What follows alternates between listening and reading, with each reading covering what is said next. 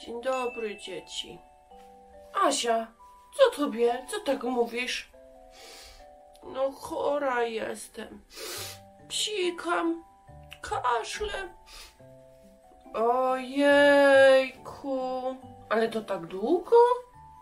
Nie, tylko dopiero raz, dwa, trzy, cztery, cztery dni.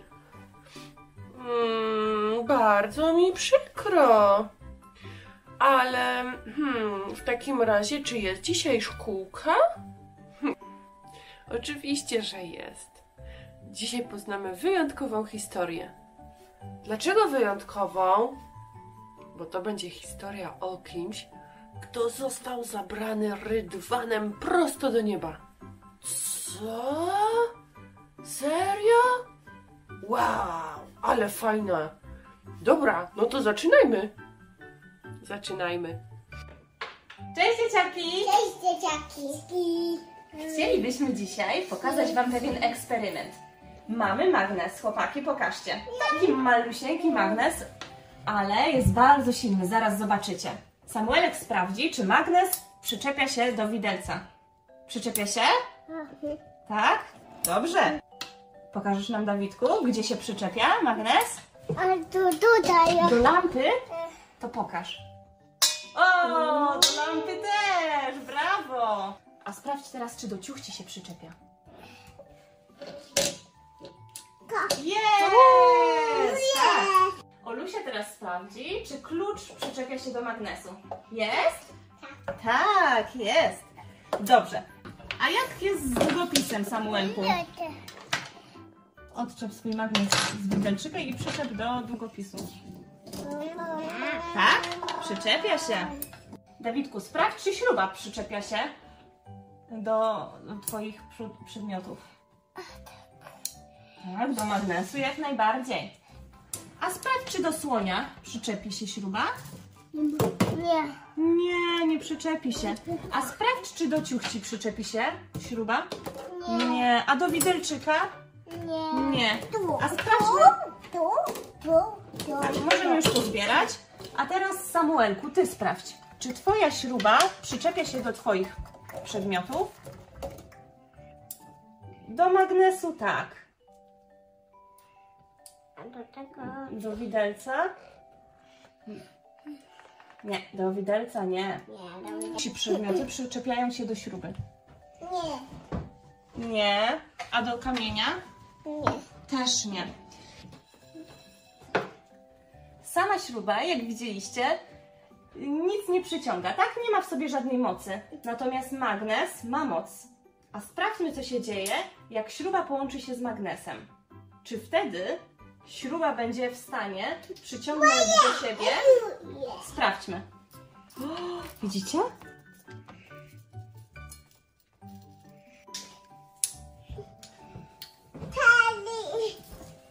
A Nie. Ja będę patrzył, to sobie dam rękawy.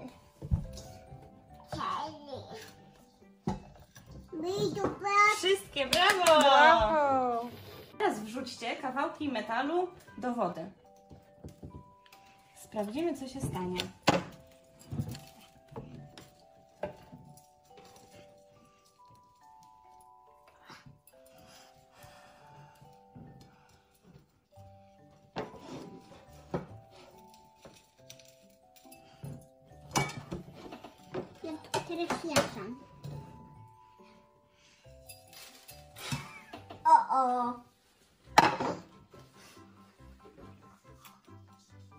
I tu.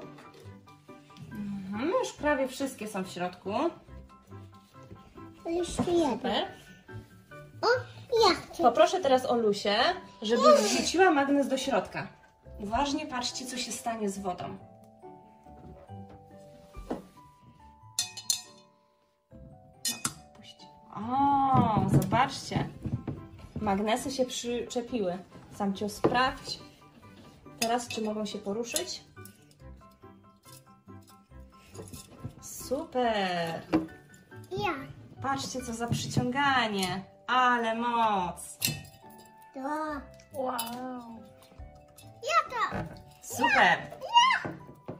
Ja to. Dziękuję Wam bardzo za ten eksperyment. Ly. Jeśli połączymy się z Panem Bogiem, my też możemy czynić wielkie rzeczy. Pamiętajcie, dzieci, Bóg daje moc.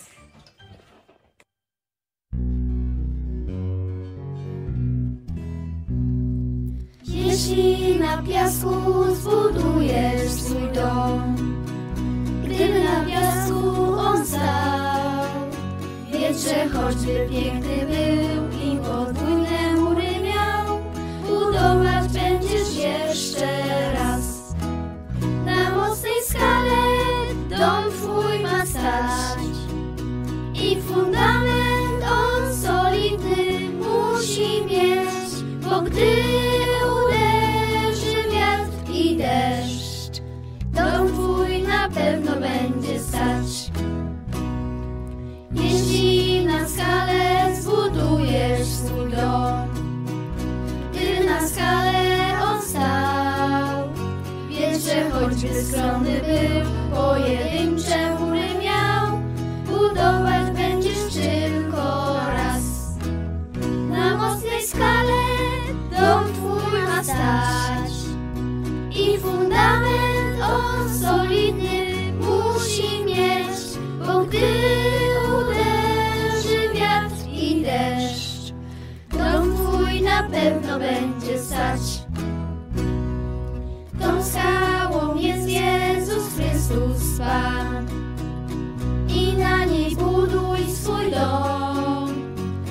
Wietrze choćby skromny był, pojedyncze mury miał, budować będziesz tylko raz.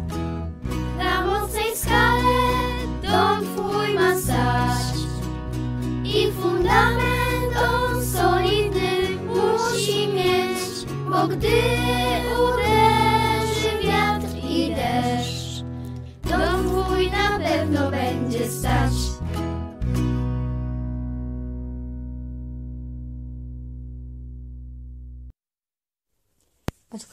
Eliasz miał swoją moc? Od Boga. A Elizeusz? Również od Boga otrzymał tą moc. A jak możemy my dostać? Taką moc, taką siłę, żeby się opierać złemu i czynić to, co dobre? To też Bóg nam daje. Dlatego zwracamy się do Niego w modlitwie. Zapraszam Was do wspólnej modlitwy ze mną. Dobry Boże, Ojcze nasz, który mieszkasz w niebie. Chociaż mówimy, że mieszkasz w niebie, to jesteś nam bardzo blisko i przez Ducha Świętego możesz nam w codziennych sprawach pomóc.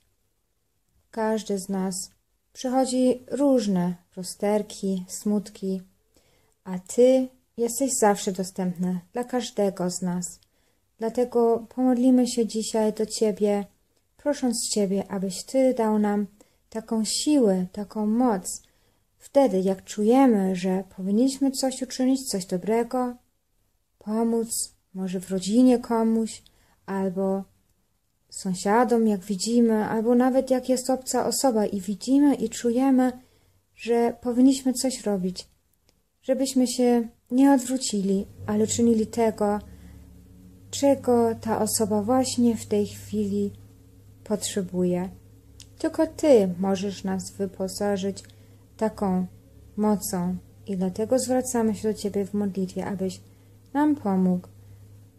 Pomóc w domu, jak mama o to prosi, albo wspierać brata albo siostra wtedy, jak jest to potrzebne. Każdego dnia mamy taką możliwość, a Ty nam wskazujesz, kiedy możemy Cię o to prosić i wierzę, że taką siłę nam dajesz. I dlatego dziękujemy Ci za to w imieniu Jezusa Chrystusa, Jezusa naszego Pana i Zbawiciela. Amen.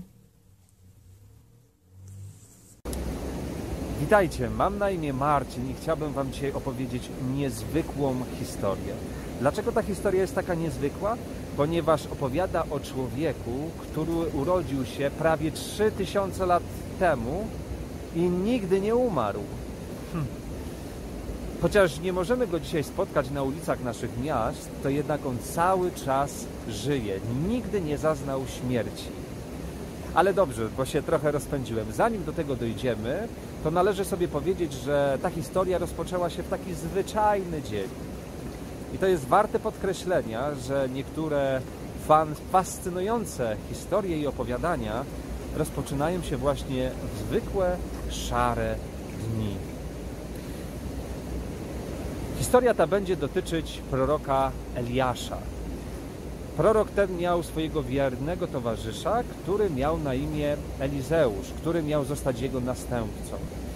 Wyobraźcie sobie, że pewnego dnia, kiedy oni wstali, obudzili się, zjedli pewnie pożywne śniadanie i razem wyruszyli, ponieważ prorok Eliasz dostał taką wiadomość od Boga, że powinien udać się do Betelu, czyli do miejscowości oddalonej nieco od tej, w której się znajdowali. Choć prorok Eliasz powiedział Elizeuszowi, swojemu pomocnikowi, żeby został na miejscu, to jednak ten się upierał i mówił: Absolutnie nie, wszędzie gdzie ty pójdziesz, to ja chcę ci towarzyszyć. I tym sposobem w tym dniu razem przemierzali kilka miejscowości i w zasadzie jakbyśmy tak śledzili ich trasę na mapie, to moglibyśmy zobaczyć, że zrobili trochę takie kółko. E, ale być może to też miało jakiś cel.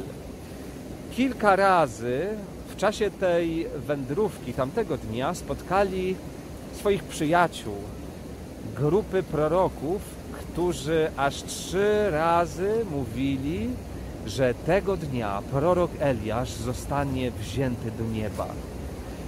Kiedy ich wędrówka dobiegała końca, doszli do pewnej rzeki. Rzeka ta nosiła nazwę Jordan i kiedy do niej doszli, prorok Eliasz wziął swój płaszcz, zwinął go w rulon i uderzył mocno w rzekę, po czym ta rozstąpiła się. Podobnie jak to było za czasów, kiedy Izraelici wychodzili z Egiptu, prawda? Pamiętacie? Kiedy zrobiła, zro, zrobiło się przejście pośród wody, przeszli na drugą stronę. I tam miało miejsce to niezwykłe wydarzenie, ponieważ nagle z nieba pojawiły się ogniste rydwany, które przybyły po Eliasza. Eliasz tymi rydwanami został wzięty do nieba tam, gdzie mieszka Bóg. I w zasadzie tam przebywa do dzisiaj. To jest, to jest naprawdę niezwykłe. Jedyne, co zostało po proroku Eliaszu tutaj na ziemi, to jego płaszcz. Prorok Elizeusz szybko wziął ten płaszcz i chociaż bardzo mu było smutno z tego powodu, że jego przyjaciel został wzięty do nieba, to jednak oprócz płaszcza Elizeusz wcześniej jeszcze prosił o tego ducha, o tą moc, która towarzyszyła właśnie prorokowi Eliaszowi. I gdy prorok Elizeusz wracał i musiał wrócić właśnie tą samą trasą, czyli przejść przez rzekę Jordan, to wziął płaszcz Eliasza, znowu zawinął w rulon, uderzył w tą rzekę i ta rzeka na nowo się rozstąpiła. I tak Elizeusz rozpoznał, że ta sama moc towarzyszy jemu. Ta sama, która była z Eliaszem. I to oznaczało, że tak samo jak Bóg był z prorokiem Eliaszem, tak samo będzie z Elizeuszem. Tyle tej historii. Serdecznie Was pozdrawiam. Pa!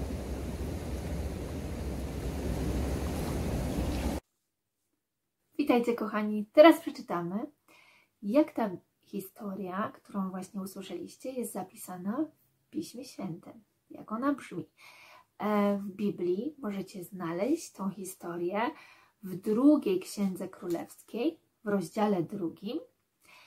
I zaczynamy od pierwszego wersetu. Posłuchajcie. A gdy Pan zamierzał unieść Eliasza wśród burzy do nieba, wyszedł Eliasz z Elizeuszem z Gilgal, czyli z takiego miasta. I rzekł Eliasz do Elizeusza: Pozostań tutaj, gdyż Pan posłał mnie aż do Betelu.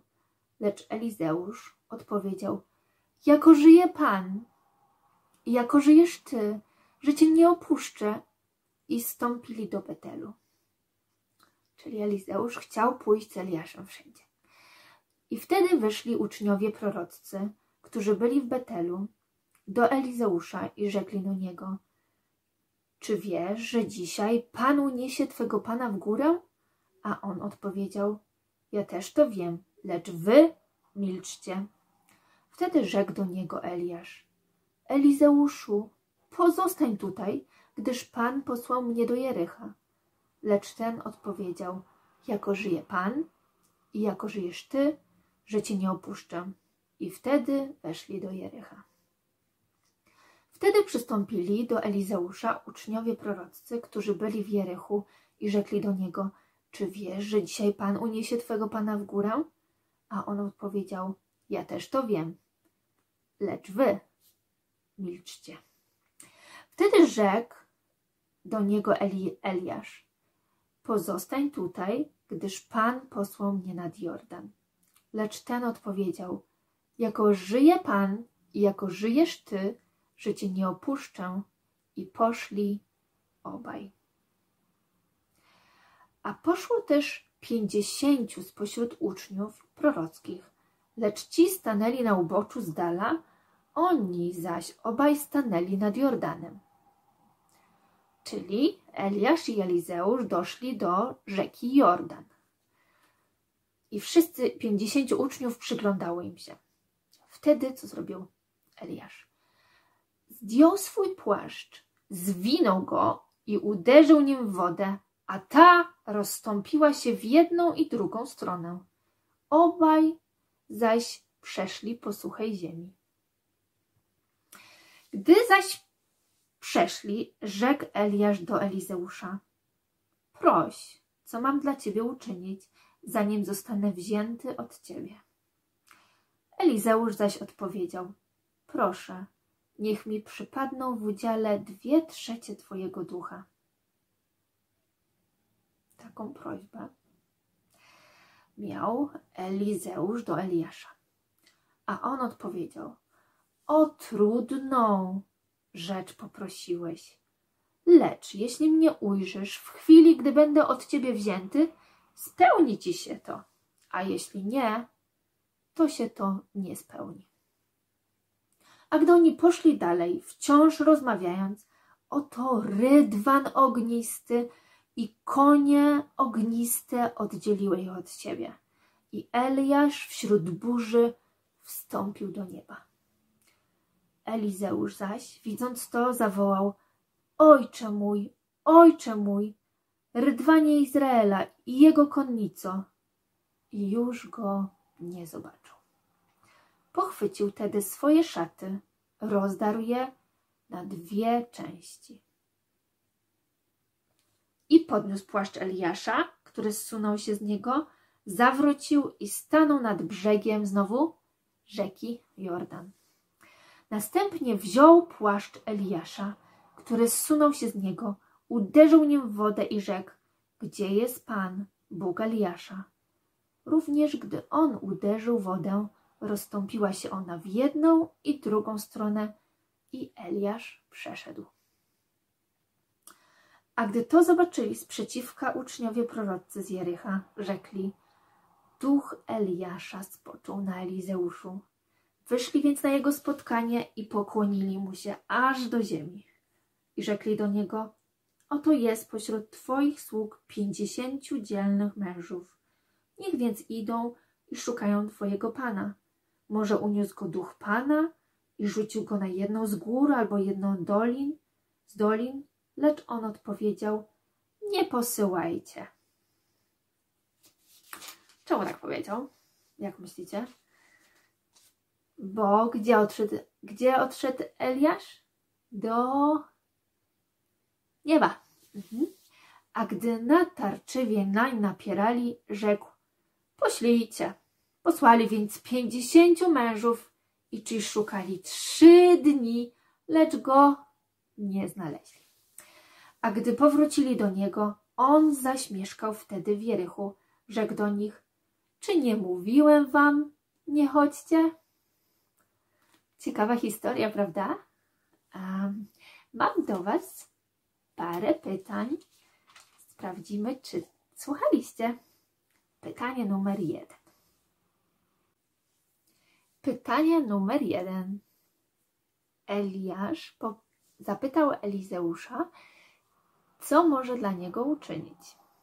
Co odpowiedział Elizeusz? Pamiętacie? Poprosił Eliasza o to, aby miał dwa razy tyle ducha, co Elizeusz. Co to mogło znaczyć? Co miał Elizeusz na myśli? To jest pytanie drugie.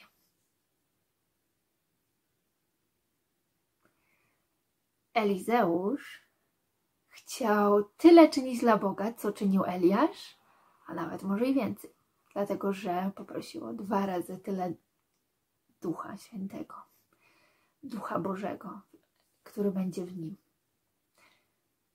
Pytanie numer trzy. Co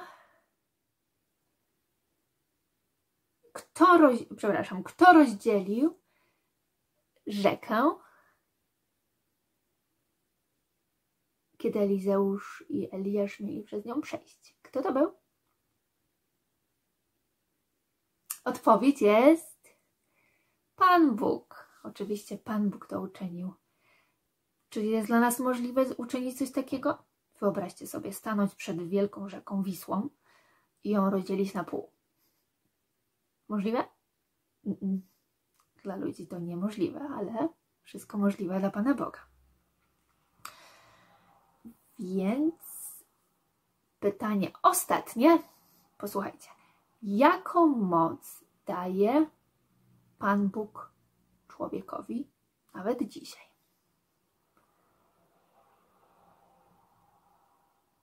Odpowiedź: Pan Bóg daje nam moc, aby czynić dobrze, aby żyć w Jego mocy i pomagać innym ludziom. Pamiętajcie przesłanie naszej dzisiejszej lekcji? Bóg daje moc. Bóg daje mi i Tobie, Wam wszystkim, nam wszystkim może dać prawdziwą moc, aby czynić dobrze i żyć zwycięskim życiem. Zapamiętajcie to przesłanie, bo jest naprawdę ważne. Nikt jak Bóg nie da nam takiej mocy. Do zobaczenia. Pa, pa.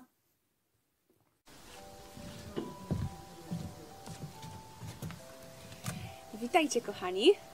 Historia o Eliaszu, który został porwany do nieba, jest jedną z moich ulubionych historii biblijnych. Nie wiem jak waszą. Zapraszam Was teraz do wykonania pracy plastycznej, która utrwali Wam tę historię. Do naszej pracy będą potrzebne nożyczki, klej, kredki bądź długopisy albo mazaki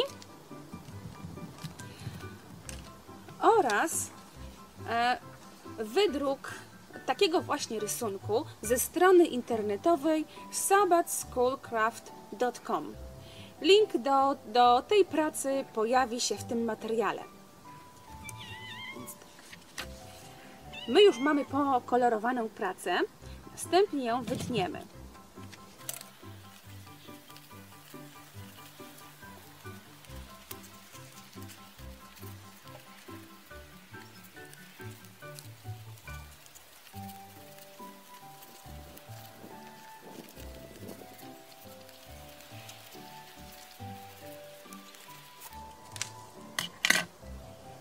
Jak widzicie, mamy Eliasza po jednej i po drugiej stronie, który już znajduje się na wozie ognistym. Teraz będzie nam potrzebny klej. Posmarujemy odwrotną stronę naszego obrazka i skleimy równiutko.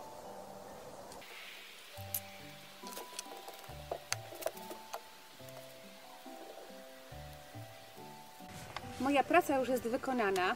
Mamy pokolorowanego Eliasza z jednej strony oraz z drugiej strony, ale zauważcie, tutaj mamy taką niesklejoną część, możemy do niej włożyć palca i możemy jeździć naszym rydwanem. W sobotnie popołudnie albo wieczór możecie tę historię opowiedzieć rodzicom. Możecie również zanieść ją do szkoły bądź przedszkola i opowiedzieć swoim kolegom i koleżankom tę wspaniałą, pełną mocy historię o tym, jak Bóg bierze swojego wspaniałego sługę do nieba. Można również wziąć sznureczek i powiesić w pokoju tę pracę. Pomyślcie, w jaki sposób Wy ją wykorzystacie.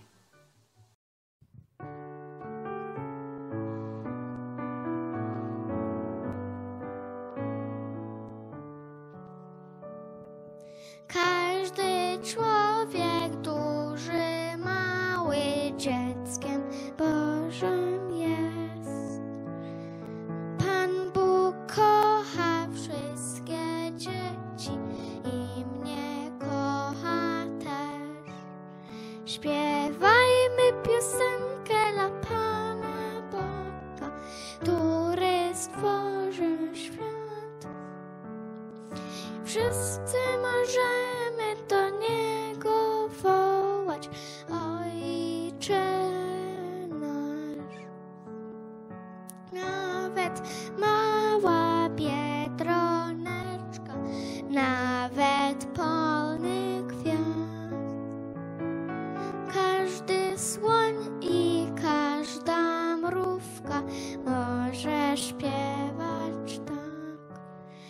Śpiewajmy piosenkę dla Pana Boga, który stworzył świat.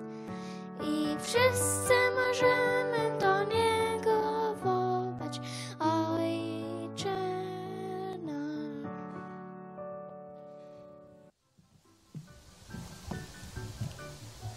Do widzenia!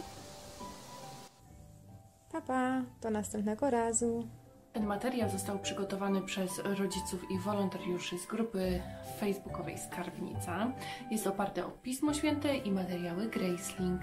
Jeżeli chcesz nam pomóc w tłumaczeniu albo w jakikolwiek inny sposób wesprzeć, link znajduje się poniżej.